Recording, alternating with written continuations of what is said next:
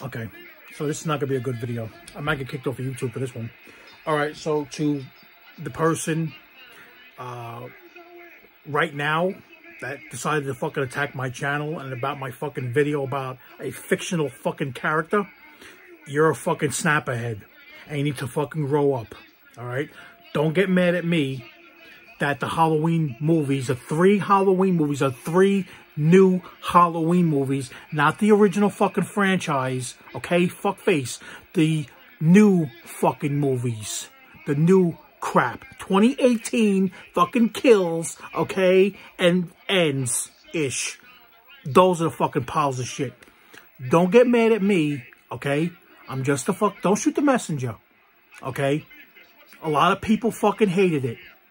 And they won't say it because they're afraid of losing friends and followers and whatever the case may fucking be. You want to say you're a 80s hardcore fan?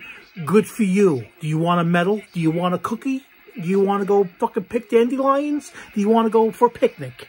Okay? You know shit. Okay? You think you know fucking movies? I'm not going to argue with you. You know your fucking horror movies. You're a hardcore 80s fucking fanatic. Okay there, Chief. You know everything. I'm not going to argue with you. You're not going to waste my fucking breath on you anymore, okay? But you hit me with the most mainstream fucking horror movies that there are. You hit me with Jason. I believe you said fucking Leatherface and um, Michael Myers, right? But you could have said something like maybe The Mutilator, right? The, the Mutilator. Uh, Slaughter High, Madman, right?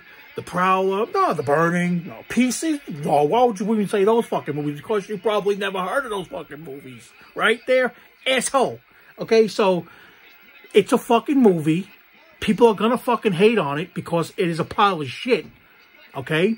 People with fucking brain cells and know a garbage movie when they, sorry, garbage movies because all three sucked. The storyline sucked. Okay? And if you can't deal with that, then maybe you should fucking watch Hallmark movies.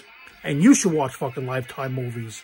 If you're fucking getting this pissed off about a fucking opinion. Listen, you like the fucking shit. You liked it. All well and good. All well and good.